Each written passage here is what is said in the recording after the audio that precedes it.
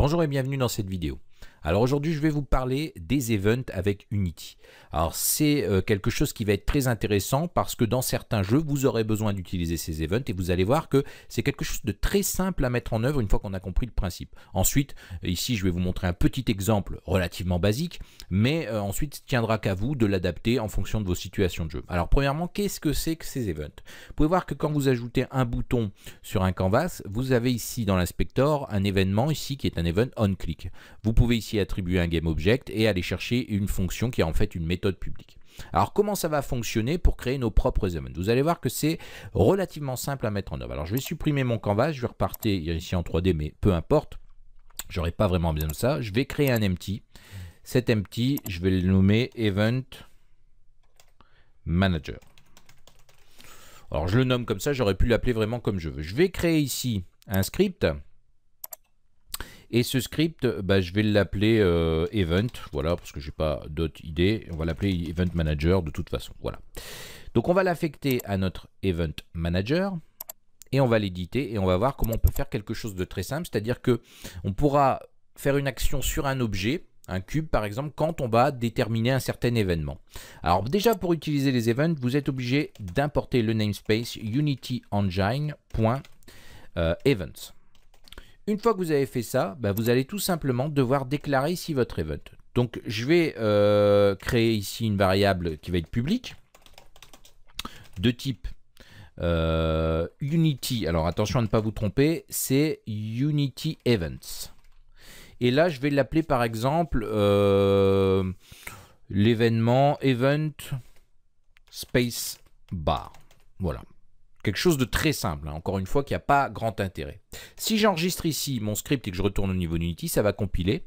Et là, on peut voir qu'automatiquement, j'ai bien mon event space bar qui est là, avec ma liste qui est empty, évidemment. Mais pour le moment, je vais pouvoir ajouter quelque chose dedans, mais euh, bah, ça n'a pas euh, grand intérêt. Il faut que je puisse déclencher maintenant cet event quand j'appuie sur la barre d'espace, parce que j'ai décidé de faire ça. Alors, comment ça va fonctionner? Ben, Ça va être assez simple. En fonction de l'événement que vous allez faire, là ici je dis je dois appuyer sur la barre d'espace et à ce moment-là, euh, ben, ça, déclenche mon événement. Je vais faire un if input.get down. Évidemment, je vais aller chercher le key code correspondant à la barre d'espace qui est space. Bah, Qu'est-ce que je vais faire? Bah, Je vais tout simplement aller faire un event, euh, event spacebar. Alors, event, pardon, spacebar. Le nom de mon événement qui est ici. Et je vais faire un point invoke. Ce qui va permettre en fait de déclencher la fonction qui va se trouver ici à droite. Donc vous voyez que c'est relativement simple. Si ici j'avais décidé de faire un event, euh, par exemple sur un cube, et euh, quand on entrait dans le trigger, bah, je l'aurais appelé tout simplement event euh, trigger hunter, et ici j'aurais fait, j'aurais utilisé la méthode void on trigger hunter, et j'aurais déclenché ici mon event grâce à .invoke. Alors, maintenant évidemment pour que ça fonctionne, on va devoir faire quelque chose. Donc ce qu'on va faire, on va créer ici un cube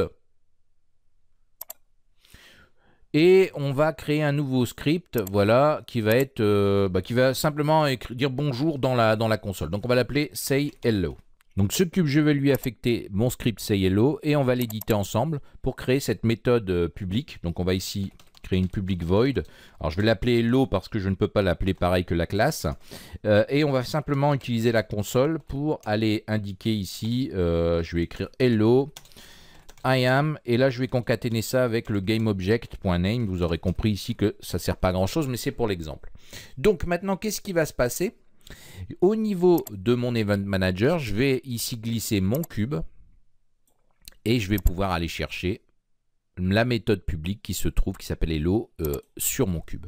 Et maintenant, regardez ce qui se passe au niveau de la console. Quand je vais appuyer sur la barre d'espace, j'ai à chaque fois une incrémentation. On va voir, je ne vais pas faire de collapse, mais on peut voir qu'à chaque fois, j'ai une incrémentation. Donc ça, ça va être intéressant parce que ici, je vais pouvoir, par exemple, utiliser euh, ça avec une sphère en plus. Alors, bon, là, les sphères, les cubes sont là, mais on ne les voit pas réellement à l'écran. Mais l'idée, euh, c'est vraiment pas de d'utiliser la, sphère et le cube, hein. vous aurez compris, c'est pour l'event. Euh, bah, ici, je vais ajouter mon script de nouveau sur la sphère. Je vais retourner au niveau de mon Event Manager et là, ce que je vais faire, je vais pouvoir ajouter un autre événement. Voilà, et je vais aller glisser ma sphère dedans. Et je vais pouvoir ici reprendre le say hello. Donc je pourrais faire une action différente, hein, peu importe. Mais là, l'avantage, c'est que maintenant ici, si je mets ma console et que j'appuie sur la barre d'espace, on peut voir que cette méthode publique est, déclenchée au moment où mon event, ici spacebar, est pressé. Alors encore une fois, c'est un exemple tout simple, mais vous pouvez faire n'importe quoi. Ça pourrait être quand je rentre dans un certain trigger, donc j'appellerai cet event trigger hunter.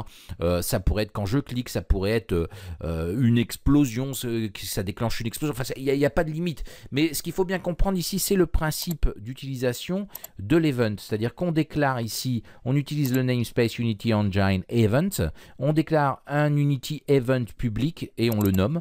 Et euh, tout simplement, pour l'invoquer, on va aller chercher dans le code. Bah, ici, le, cas présent, c'est que j'appuie sur la barre d'espace. Donc, je dis maintenant, allez, tu déclenches en fait mon event. Et si je voulais le faire à un autre moment, ça pourrait être vraiment n'importe quoi. Euh, ça pourrait être on trigger, on collision hunter, ça pourrait être vraiment n'importe quoi. Donc voilà comment ça fonctionne. Vous pouvez voir que c'est relativement simple. Hein. Euh, ça peut paraître bizarre et compliqué dans un premier temps, mais une fois qu'on a compris le principe, c'est euh, franchement simple. Alors ici, évidemment, j'utilise pas encore une fois de choses graphiques. L'idée est vraiment de vous montrer comment ça fonctionne basiquement parlant.